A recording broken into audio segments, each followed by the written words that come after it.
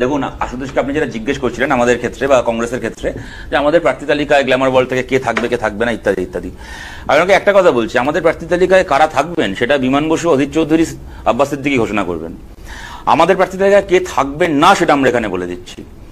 দুশো চুরানব্বইটা আসনের মধ্যে একটা আসনেও কোনো প্রাক্তন তৃণমূল নেতা থাকবে না। দিলীপ ঘোষের ক্ষমতা থাকলে এইটুকু খালি বলুক।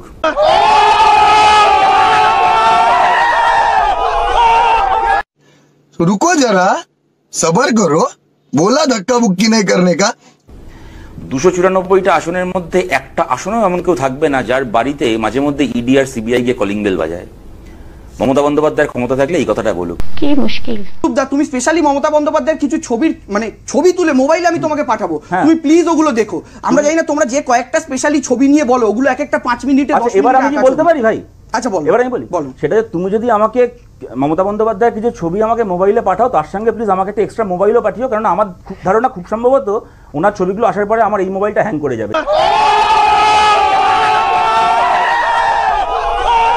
আমার সাথে একশো বার সম্মত যে যারা ছবিটা কিনছেন, ছবিটার আর্টিস্টিক ভ্যালুর জন্য নয়, তারা মমতা বন্দ্যোপাধ্যায়ের ভক্ত হিসেবে কিনছেন এবং আমরা দেখলাম যে মমতা বন্দ্যোপাধ্যায়ের ছবি কেনার উৎকৃষ্ট দুজন ভক্ত হচ্ছেন সুদীপ্ত সেন এবং গৌতম কুণ্ডু। আচ্ছা সদরূপদা কোনো লোগো কোনো ব্যাচ চিহ্ন কিছু দেখছি না কেন? না আমি জানি তুমি কেন লোগো মিস করছ কারণ আমি তোমার এর আগের ইন্টারভিউ দেখেছি তুমি যেটা করেছ। তবে দেখো একটা কি বলো তো তৃণমূলের নেতাদেরকে ওনাদেরকে এই বুকে এরকম একটা ওই তৃণমূলের লোগো পরে ঘুরতে হয় ব্যাচ পরে ঘুরতে হয় তো ওনাদের কেননা লোককে জানাতে হয় যে দেখুন আমি এখনও তৃণমূলে আছি আমি এখনও অব্দি বিজেপিতে যাইনি। মজা আয়া। উনি পুলিশের গাড়িতে বোম মারবেন বলেন সঙ্গে পুলিশের বডিগার্ড রেখে। যেদিন এই পুলিশের বডিগার্ড থাকবে না সেদিন দেখব ওনার কাছে কটা বোম আছে আর জনগণের কাছে কি প্রতিরোধ রয়েছে। আমি ওসবের মধ্যে যাচ্ছি না। আমি যে কথাটা সিরিয়াস তোমার একটা কথা বলছি। ইলেকশন কমিশন এই ভদ্রলোককে নজরবন্দি করেছিল। করেছিল? একটা কথা ওনার আপনি একটা বলবেন একটা কথা আপনি একটা একটা দশটা কথা বলবেন বলি। বলেন কথার মাঝখানে। মাঝখানে বলবেন না। না না আপনি বলবেন বলবেন প্লিজ কথাটা শুনে নিন আমি একটা কথা বলি। একটা না আপনি একশোটা বলবেন কিন্তু আমার বলাটা হয়ে যাক তারপরে প্লিজ বলবেন। সবসময় এরকম বোম আচ্ছা হয় না। দা দাদুরা শিশু সুলভ হন। দাদুদের মানে মানুষের বয়স বাড়লে তাদের মানে একটু তারা আবদার এগুলো একটু বেড়ে যায়। মাঝে মাঝে আমরা ব্যাপারটাকে খিটখিটে মি বলি খিটখিটে বুড়ো।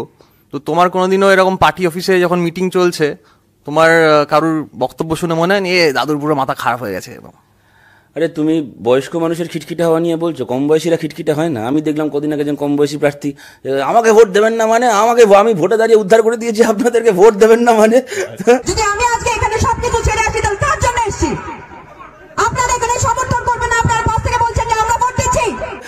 এইসব খিটখিটে আমি তোমাদের চোখে পড়ে না? সংস্থান হবে। দেখুন একটা ব্যাপার কি বিশ্বদা এই যে বাজারে যেটা বলা হলো যে পঁচাত্তর পঁচাত্তর বছর বয়সের পর থেকে রিটায়ার্ড মানুষেরা তারা হচ্ছে টিডিএস একটা ছাড় পাবেন। অনেকেরই প্রশ্ন আমারও তখন মনে হয়েছিল আমি আপনাদের এই স্টুডিওয়ে বসে বাজেটটা শুনছিলাম আমার মনে হয়েছিল যে হঠাৎ পঁচাত্তরের পরে কেন? ষাট থেকে পঁচাত্তরের মাঝখানে মানুষগুলো কি দোষ করলেন সিনিয়র সিটিজেনরা পরে কারণটা বুঝলাম। দেখুন এগুলোই আমাদের শেখার নরেন্দ্র মোদীর কাছ থেকে।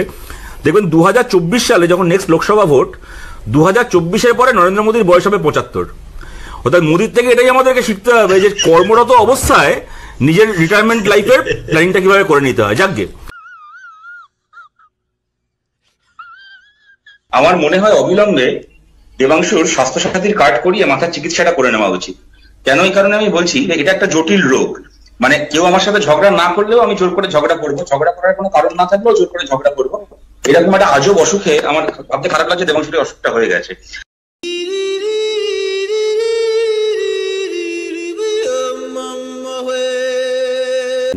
নরেন্দ্র মোদী যখন ব্রিগেডের মঞ্চে চোরেদের বিরুদ্ধে বক্তৃতা দেন ভ্রষ্টাচারের বিরুদ্ধে বক্তৃতা দেন তখন ওনার পেছনে বসে হাততালি দেন পশ্চিমবাংলার এক নম্বর চোরগুলো।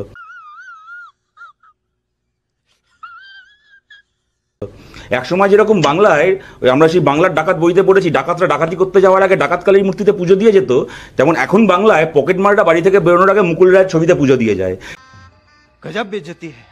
মজা আয়া।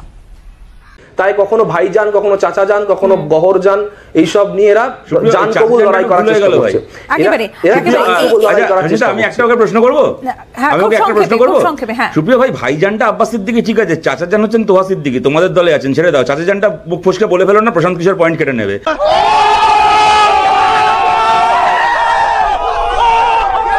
পলিটিক্স করতে হবে বলে। ডার্টি পলিটিক্স যেন আমরা না করি। এই সময়টা এখনও আমি বলছি ডার্টি পলিটিক্স করবার টাইম আসলে কি বলুন তো?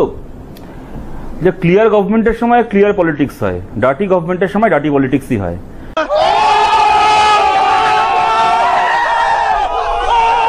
দু হাজার সালের পয়লা এপ্রিল অর্জুন কাকে আহ, হত্যা করেছিল? এটা অর্জুন বলবে। কিন্তু জ্যোতিপ্রিয় মল্লিক সত্যি কথা বলেছেন। অক্ষরে অক্ষরে সত্যি কথা বলেছেন। যখন উনি বললেন যে দু সালের এপ্রিল মাসে অর্জুন সিং কাকে খুন করেছিল জবাব অর্জুন সিং দেবে। এবার দু সালের এপ্রিল থেকে দু হাজার মার্চ দীর্ঘ উনিশ বছর এই খুনি অর্জুন সিংকে কে এমএলএ বানিয়েছিল? তার জবাব কি জ্যোতিপ্রিয় মল্লিক আর জ্যোতিপ্রিয় মল্লিকের দিদি দেবেন? আমি তো দিদির বাইরে ভাবতেই পারি না। দিদি আমাকে বার করে দিল। আমাকে প্রার্থী করল না। আমাদের মূল ফোকাসটা ছিল ডার্টি পলিটিক্স এইটাই ডাটি পলিটিক্স অর্জুন সিং দু সালের এপ্রিল মাসে খুন করেছিল জেনে অর্জুন সিং আমার দল থেকে এমএলএ হচ্ছে তাই অর্জুন সিং আমি বাঁচাবো। যেদিনও আমার হাতের বাইরে চলে যাবে সেই দিন আমি বলব যে অর্জুন খুন করেছিল। একটা লোক খুন করেছে জেনেও একটা খুনিকে বিধানসভায় পাঠানোকে বলে ডার্টি পলিটিক্স যে ডার্টি পলিটিক্স এর মাসিমা হচ্ছেন পশ্চিমবাংলায় মমতা ব্যানার্জি। আমি দিদিকে ছেড়ে যাইনি। যাওয়ার কথা ভাবতেও পারি না। তাই তোমায় বলছি দেবাংশু আরজেডির ইলেকশন সিম্বল তুমি জানো হ্যারিকেন এবারের ভোটে তোমাদের হাতে হ্যারিকেন ধরিয়ে দেবো তুমি তৃণমূল ছেড়ে আরজেডি চলে যেও।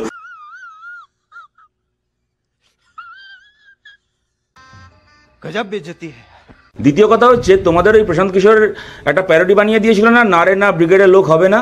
ওই লাইনটা দু লাইন একটু শুনিয়ে দেবে নাকি আমাদেরকে? নেতাকে বা নেত্রীকে তুইতগারি করেনি যা আমরা দেখি ইদানিংকালে বাংলার রাজনীতিতে। কোন নেতা তার বিরোধী দলের কোন নেতাকে কবিতা কবিতা হয় এই আপনি একটুখানি ভদ্রতা শেখান চুপ করতে বলুন ওর কথার মাঝখানে আর ও যদি সবার কথার মাঝখানে আলোচনা করেছে তাহলে ওকে একদিন ওর আলাদা ইন্টারভিউর জন্য ডাকুন তাহলে বাকিদের সঙ্গে প্যানেলে ডাকবেন না। আচ্ছা সুপ্রিয় প্লিজ আপনি আমি আসব আপনার কাছে। হ্যাঁ শতত বলুন। সব শিক্ষা দীক্ষা প্রশান্ত কিশোর দেবে না কিছু শিক্ষা দীক্ষা স্কুল কলেজ থেকেও পেয়ে আসতে হয় সুপ্রিয়।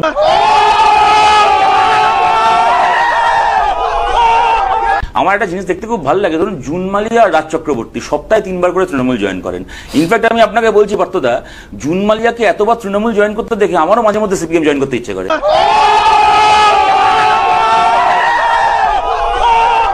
মুনমুন সেন কি বলে প্রচার করেছেন আসানসোলে গিয়ে? আমার মায়ের আত্মার শান্তির জন্য আমাকে ভোট দিন। আরে লোকে মায়ের আত্মার শান্তির জন্য মায়ের শ্রাদ্ধ করে উনি ঠিক করেছেন জনগণের শ্রাদ্ধ করবেন।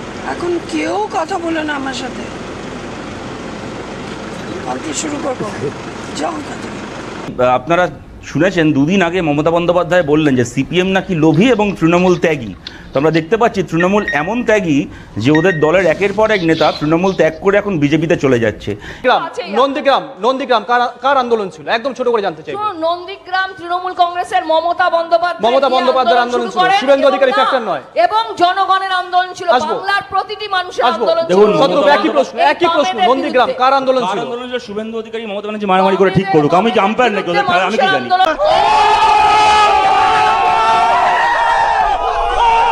মমতা বন্দ্যোপাধ্যায় একটা হ্যাঁ সময়ের থেকে এগিয়ে থাকা নেত্রী। যেদিন নন্দীগ্রামে গিয়ে বলছেন যে ভবানীপুর আমার বড় বোন তো নন্দীগ্রাম মেজো বোন। আমি হচ্ছে আরে মেজো কেন? ছোট বোন হচ্ছে না কেন? পরে বুঝলাম রাজীব ব্যানার্জি বাদ চলে গেল এবার ডোমজুর ওনার সেজো বোন। এইভাবে বাংলায় ওনার ফুল বোন রাঙা বোন ন বোন সব হবে। আলটিমেটলি যে বলেছিলেন দুশো চুরানব্বইটা কেন্দ্রে আমি প্রার্থী ভোট আস্তে আস্তে দেখবেন দুশো চুরানব্বইটা কেন্দ্রে সত্যি মমতা ব্যানার্জি প্রার্থী। উনি ছাড়া তুলসী তলায় বাতি দেওয়ার জন্য আর একটা লোক বাকি নেই।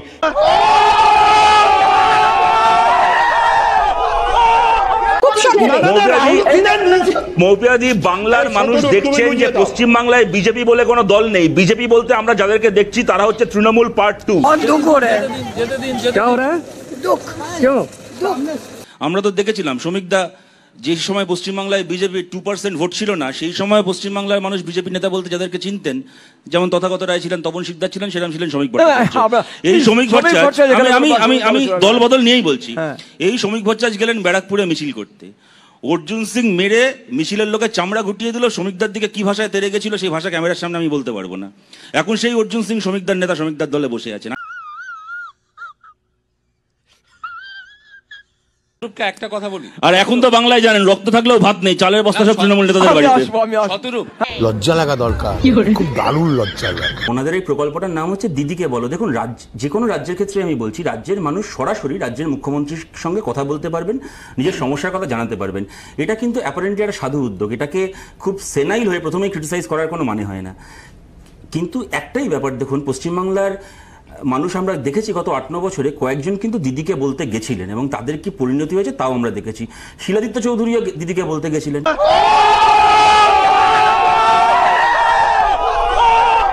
একদম সংক্ষেপ টেন সেকেন্ড লাস্টটা খালি একটা কথাই বলব। বলো দিদিকে জোট বাঁধো সবে বিজেপি ভাগানো পূর্ণ একানব্বই তিন সত্তর নয় তেরো সাত শূন্য কল করুন দিদিকে পাবেন থ্যাংক ইউ তবে জেলে যাবেন ব্যাপক হয়েছে বস ক্যারিয়ন দাদা আপনার ভিডিওগুলো অনেক ফানি হয়।